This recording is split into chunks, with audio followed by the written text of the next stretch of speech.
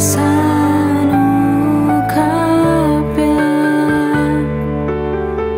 कर बिखरने न देगा मुझे यीशु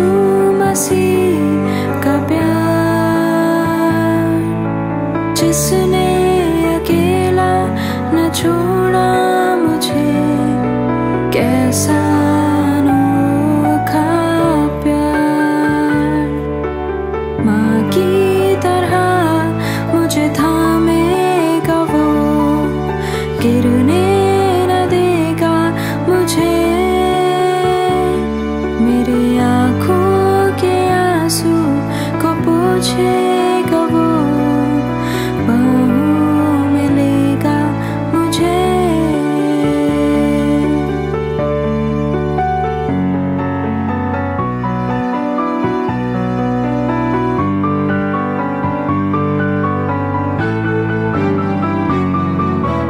me